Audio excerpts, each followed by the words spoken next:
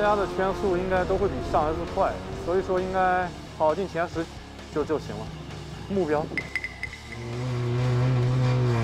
好方啊！你有什么方呢？你我罚对十位啊？十位吗？我换八条胎啊？怎么八条？不四条吗？今天结束之后再换四条新胎。哦，这样子。所以你罚退十名。对呀。一百刹车是吗？那个你要稳，一定要一百。弯心越晚一点呢，这个弯也就越好过一点。加油吧！希望可以快一秒吧。我必须决出个你死我活来回来，对不对？为了节目效果，啊为了节目效果。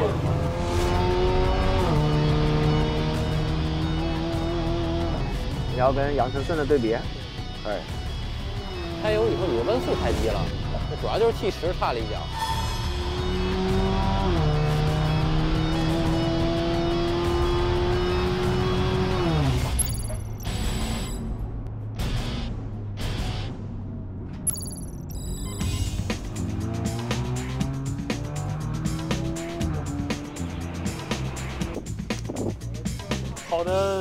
稀碎，稀碎，不理想，很很滑现在。我反正是慢了。哎呦，还没大桥快呢。上一站就是，上一站没没铁豆快，完了后来六哥说蹲着尿吧，完了，可能这次又得蹲着尿了。就是你说配重有没有关系呢？不是说没有，但是。顺顺跟高翔也有配重，但是但是他们也快，这就尴尬了啊！我 T 一还是刹不住车。今天温度一号弯，感觉那个刹车点特别奇怪的，有时候又刹得住，有时候刹不住。哎，对对对对对，同样一个刹车点，哎，浪费了三四圈得有。啊！可以进了，可以进，可以可以可以进就行，可以进就行。你那个一百公斤还那么快？你怎么这么快哦？我感觉不对。我感觉不对，还这么快干。主要瑞叔不在，瑞叔在就没我们什么。瑞叔在，他肯定敢问。哎，你教完我，我快了零点六哎。快了零点六，说出来。刚刚 Rico 教我，我快了零点六哎。Cool。可是还没上十七秒。完了。职业车手，老焦啊，咱俩磕了。我挺烦你在我后面的，其实。弄死你！别把我挑出去。上一次就二十八号是吧？你放心，对对，我这情商高低做不出来这事儿。上次是林德伟，这次杨曼曼，都不是好惹的主。是，这个想拿车队第三的这梦可能要破灭了。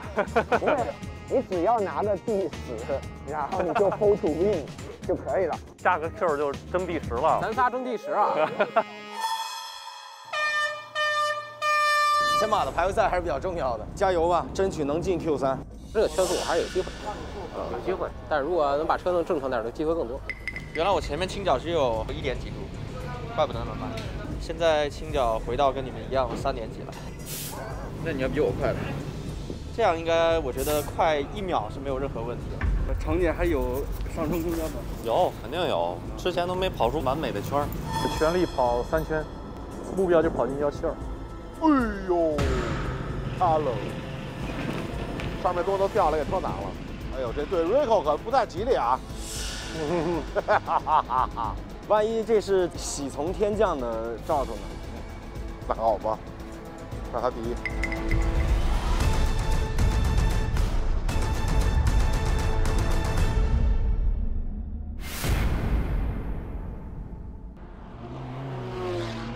车手二零二二赛季不知不觉已经来到了收官战，又是天马赛车场。Hello，大家好，我是美丽彪。这一场排位赛由我来为大家解说。首先在 Q 二第一个登场的是大家车神队的金牌代打卓哥，但大家车神队派出卓哥也是无奈之举。由于卓哥在第二站株洲站的比赛中获得了全场总冠军，所以他这一轮要带着一百公斤的 BOP。上次第三站 VIP 在这里带着八十公斤的 BOP 就不是很适应。现在来到四号弯前，卓哥的刹车点相对较早，而且他在刹车的同时。还有下意识的跟指动作，冲出四号弯以后，把赛道宽度用满。前方的五号弯是这条赛道的第一个重点，这里刹车点非常的不好找。这里卓哥切得很深，在弯心处缓了一脚油门后，才开始全油门出弯。弯心最低时速五十五公里每小时。现在来到七号弯前，但跟上一次天马有所不同的是，弯心处有水，所以大家都得在这里多减一点速，控制好车身。在这同时，郑上官和 MB 也在做自己的飞行圈。九号弯这里，卓哥的刹车松的有点早，发现超速入弯以后又补了一脚刹车，也导致他的弯心速度只有五十公里每小时，甚至比五号掉头弯还要慢。十号弯前也是偷了一点赛道宽度，抱紧十号弯的弯心，想给十一号弯留出一个舒服的入弯角度，但可能因为是加重的原因，所以这种迅速的重心转移还是有一些吃力。十一号弯抱的并不够紧，来到最后十二号弯，内侧路肩吃的很深，但会产生多余的弹跳。现在只剩下全油门路段，我们来看一下最终的成绩。一分十七点六，从之前大家练习赛的成绩来看，这个速度还不够快。在卓哥身后的郑上官也刷新了自己的成绩，一分十七点一五，暂时来到第一的位置。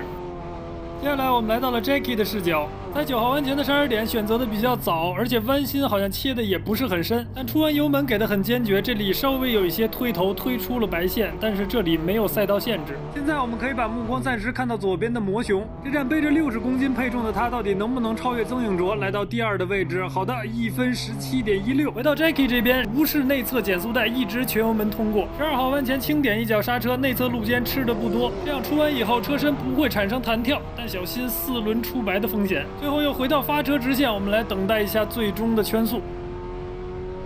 一分十七点三三，稍慢于 MB，现在在第三的位置。接下来是 Rico，他在五号弯前的刹车点明显更加的极限，带了更多的速度入弯，也是利用了五号弯出弯后赛道放开的特性。从上一站厦门赛的排位赛开始，Rico 也是逐渐的发力。老板们不是没来就是带着配重，所以要想保住车队的年度第二，还得靠 Rico 自己一个人的努力。现在来到九号弯前，刹车点相对的保守了许多。经过了前四站的锻炼，Rico 的脚下动作变得越来越顺滑。看来王瑞老师的车载他是没少研究，在十号弯前也是没有刻意的去偷赛道宽度，而且很早的进入十号弯，抱住弯心，来到反向的十一号弯，先轻点一脚刹车，然后半油门通过第一组减速带后，全油门踩下出弯，整体操作非常的顺滑，而且在刚刚高翔刚做出了一个一分十六秒七五的成绩，暂时来到第一的位置。现在 Rico 也只剩下全油门路段，我们来期待一下他的成绩。一分十六秒五九，成功翻到高翔。再来给大家复习一下，第三站来到天马的时候，最快圈速是由王瑞老师做出来的一分十六秒四。刨去天气原因不说，大家基本上都快把这条赛道跑明白了。接下来是老伙计于洋，他应该是除了主场车手以外跑这条赛道最多的人了。但好像他的这条赛道并没有什么美好的回忆。在通过七号弯时，也是因为弯心处积水的原因，稍松了一脚油门。这个时候我们还要关注一下左侧键盘车神的代打焦一，也是做出了一个比较快的成绩。一分十七点一五，在他之后即将出现的是杨晨顺，唯一一个还有机会和高翔争年度总冠军的人，一分十六点六二，稍快于高翔。来到十一号弯，老伙计于洋入弯有一些晚了，十一号弯完全没有抱住，这样他出弯以后很晚才能踩下全油门。来到 T 十二，刹车很早，但是很轻，于洋滑过弯心以后才开始加速，等待一下最终的成绩。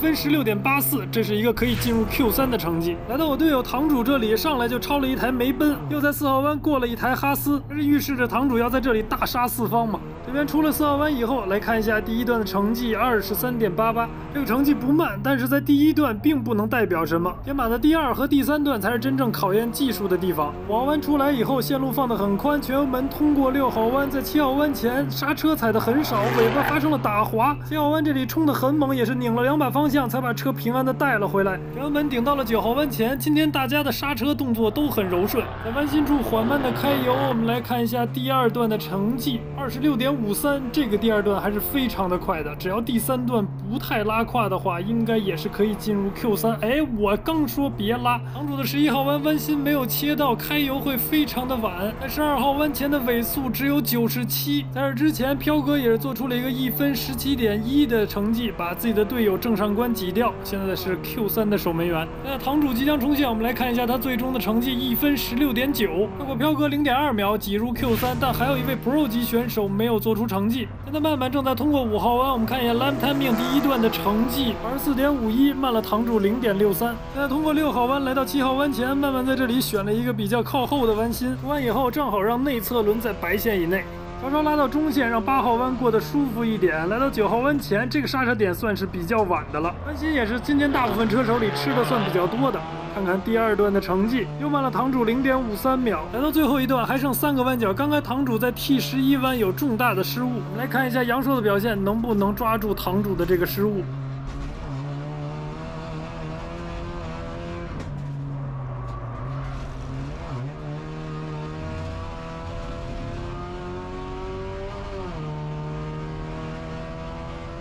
一分十六点九七，还是输了百分之六秒，但是最后一段追回了一点一秒的差距。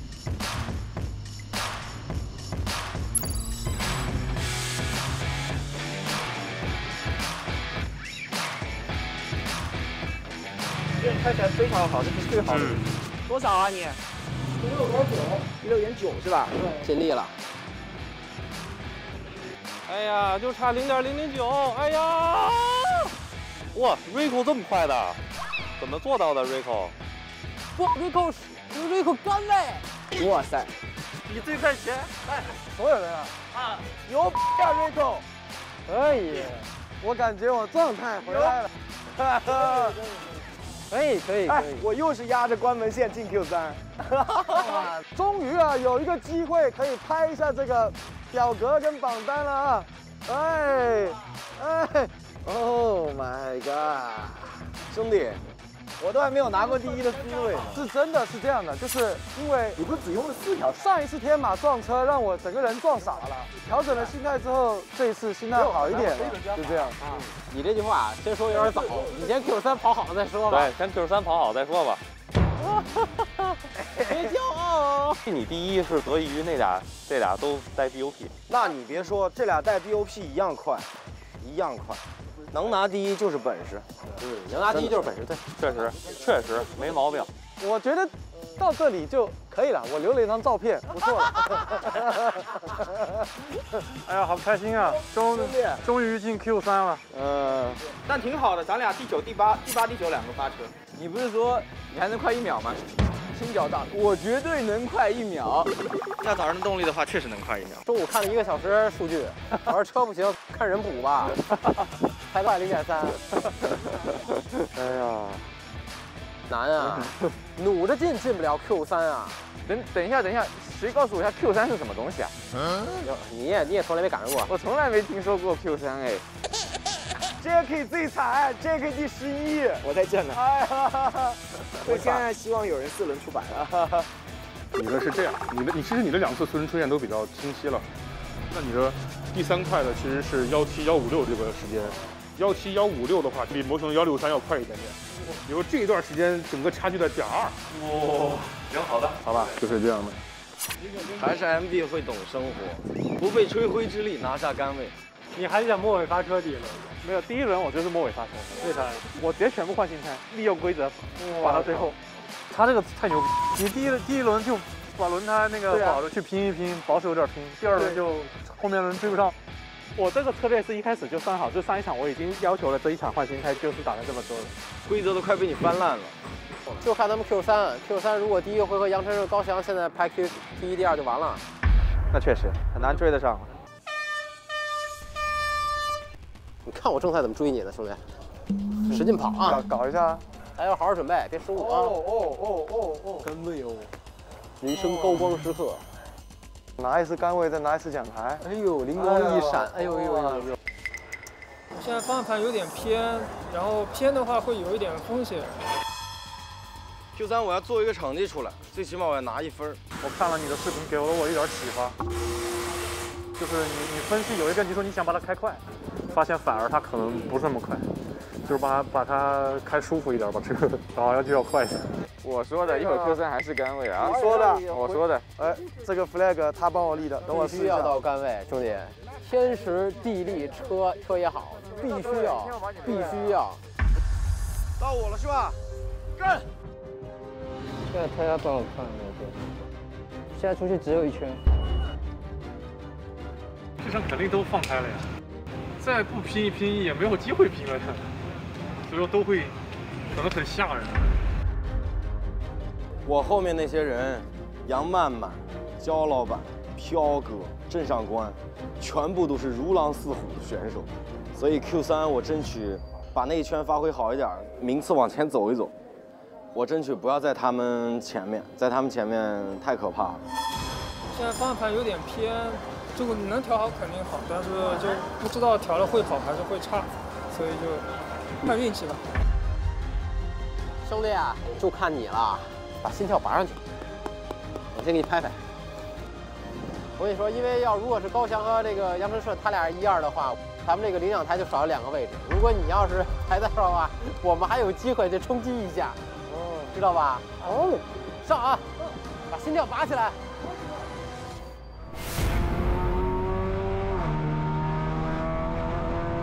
我是车手，二零二二赛季最后一场排位赛，它终于来了。大家且看且珍惜。第一个上场的是 Rico，他在一号弯的内侧路肩里还偷了一点距离，最低时速四十九公里每小时。出了一号弯以后，到四号弯前一直都是全油门路段，所以一号弯的出弯相当关键。现在来到四号弯前，尾速一百四十七公里每小时。在四号弯这边，大家都过得差不太多。出了四号弯以后，第一段的成绩出来了二十三点七零。来到五号弯前，这次刹车点没有推。的那么激进，但是在弯心速度非常的高，有六十公里每小时。其实从视频画面中，大家并看不出谁开的更好。但如果把数据带入赛车，反而是一个更直观的感受。现在 Rico 刚刚通过七号弯，由于弯心还是有少许积水，所以在那里也是缓了一脚油门。九号弯这里，Rico 把刹车带得很深，一直带到了弯心，速度五十四。这里入弯线路有一些早，出弯由于过大的方向，轮胎还是有空转的感觉。第二段成绩二十六点一，这个成绩在 Q 二非常快，但是来到到 Q 三好像不太够用，T 十一这边弯心没有抱得很紧，而且还缓了两脚油门，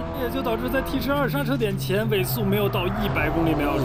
T 十二过得还算平稳，没有影响到后面的直线加速。那我们就等待最终 Rico 的冲线成绩。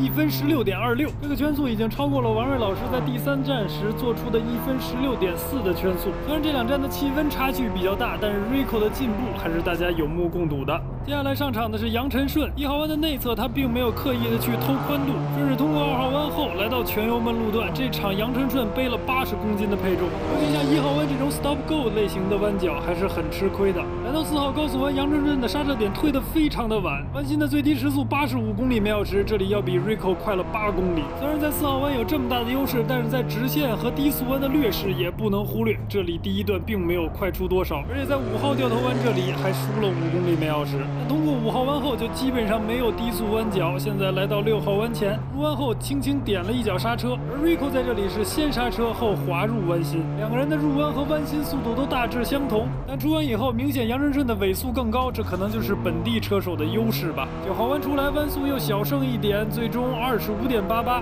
现在进入第三段，其实也只有三个弯角，十、十一号弯之间的重心转移，这轮大家都没有去紧贴弯心，难道这才是正确开法，还是大家都在这里失误了？顺顺也是缓了好几脚才开启全油门，在十二号弯的路肩切得很深，车辆还是弹起了一点。接下来就是等待冲线，看看最终的成绩。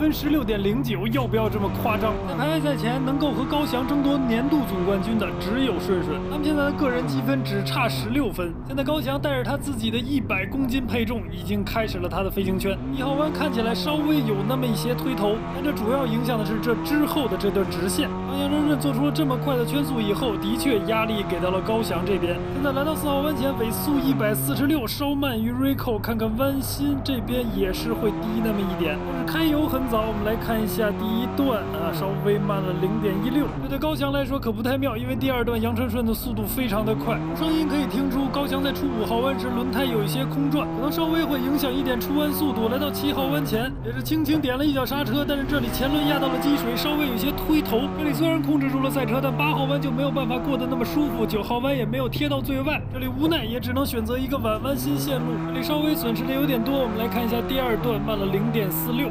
接下来还剩三个弯角，十号弯刹车后带着油门进入。接下来轻点刹车后反向弯角，终于有一个人去报十一号的弯心了。从数据上来看，好像差别不太大。只剩最后一个可以争抢时间的弯角，弯心切得非常的深，车辆也是弹了两下才开始摆正。基本可以确定高翔现在快不过 Rico。那看一看最终的成绩。一分十六点九三，现在还在第三的位置。那么现在杨晨顺就已经又跟高翔拉近了两分，差距来到了十四分。那看看能不能更进一步，那就要看于洋和堂主的表现。哎，这个一号弯入弯速度有点快啊，那这难道不会冲过了吗？于洋也是在最后一刻把自己拉回到白线以内，就怕这多余的动作会影响最终的尾速。在前油门路段丢时间，这是最让人恼火的。现在来到四号弯前，看一下最终的尾速，还没有高翔背着一百公斤快。还有这四号弯怎怎么看着有一些推头啊？出来以后速度也不太对，看来 Q 三这只有一圈的机会，让于洋稍微有一些紧张啊。不过没关系，如果从现在开始发力，还可以干到高墙上面。我们通过六号弯来看一看七号弯的表现。咱先说这个弯儿过得快不快，但非常顺滑，有没有？而且在九号弯前的尾速也是暂时最高的，但这个刹车带的非常的深，都快带过了弯心，难道不会单纯的是刹晚了吧？现在第二段的成绩也出来了，慢了零点四一，和杨春顺相比。来到十一号弯这边又有了全新的线路，杨哥在十一号弯选择了一个超弯的弯心，但这之后的直线不够长啊！刚刚要拉起速度，就得在十二号弯前点一脚刹车。接下来就剩全油门路段，我们来静静的等待最终的结果。一分十七点四七，杨哥给自己的压力实在太大了。接下来上场的是我的队友堂主，你能不能快一点跑？我已经看了十多个飞行圈了，我觉得现在谁开的都一样。要弯的入弯线路看着也是那么的普通，在通过弯心后就把油门踩下，哎，这次不错，没有直接四轮出白。如果你又在这里 DQ 了，那我就可以早一点下班了。现在又来到全油门路段，我得找一点话把这块撑过去。来到四号弯前，这个刹车点可是有点早了，弯心速度七十八公里每小时，这就可以看得出来杨晨顺在这里八十五公里每小时过是多么的极限。出来以后，在五号弯前又输了顺顺三公里每小时的尾速。五号弯出弯，这里开油有一些晚，感觉是有一点轻微的断油。现在全油门来到七号弯前，这真是摸了一下刹车就敢把车往里扔啊，扎得非常的深，压到了水。那这个旧车还是很漂亮的。好，恭喜堂主成为唯一一个在《我是车手》2022赛季中排位赛里还有回放的人，真不愧是我的队友。好，现在回到正题，堂主为了弥补刚才的失误，在九号弯这边也偷足了赛道宽度，但好像也只偷了个寂寞。最后出来看看第二段的表现啊，慢了一秒，稀碎呀！十号弯这里走的不够极限，好在十一号弯没有错过。在弯心处又是一种避震不要钱的开法，但是这个出弯线路走的有点窄，并不是车自己跑到最外的。通过 T 十二弯终于要结束了，这种东西看多了伤眼睛。但还是有一说一，这第三段跑的还算可以啊。现在就等待冲线，看看最终堂主的圈速一分十七点二八，稍稍快过于洋。同时也恭喜杨晨顺拿到了本场比赛的杆位。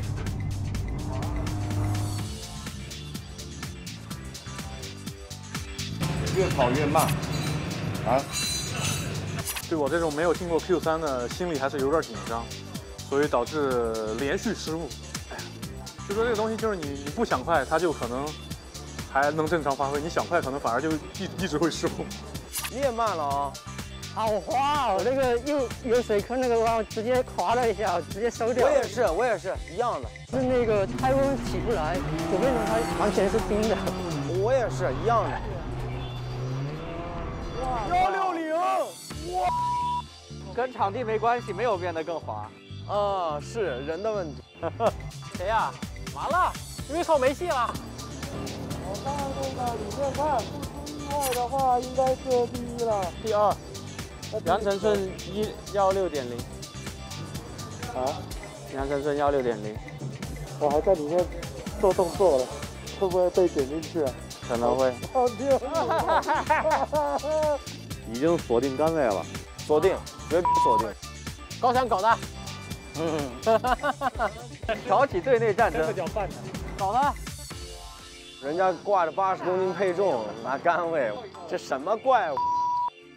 人呢，有时候自信呢，他不是突然的，因为我觉得今天状态好，就是觉得可以。啊，甚至有点妄想自己可以拿到杆位发车。现在能拿到第二出发，当然是很开心啦。但越是这样子，越有点小遗憾呢。我与第一之间啊，差了一个杨成顺，哈哈，还是顺顺比较稳定厉害。呃，主要是这次就就掌握了一些之前没有掌握的东西，主要是开温度方面。从 Q 三的成绩就能看出来，这帮人都是禽兽，没有一个好惹的，真的。这回决定骑高翔了，是吧？啊，骑杨真是。想想骑谁骑谁。骑俩。还没吃过饭呢，就等你们帮他。队友，我操！所以你在前面争取把他们俩和一和。高强肯定急于超你。你这一次在天马就不是跑过来说，哎，等我悠着点啊。你现在跟我讲的是，对对对，前面讲，当年鱼啊，使劲搅哈。对对对对。我跟你讲啊，别的不说，我肯肯定把第一回合给你搅得特别好看。好好的好的。明天又是一场艰苦卓绝的战斗。经过排位赛后，最终两回合的发车顺序是这样的：魔熊居然又申请了换胎。那么老板的第一回合就是末位发车加全新轮胎，这是要憋大招了呀！郑尚官和美丽标也同样在排位赛之后向赛会申请了新胎，分别倒数第二、第三位发车。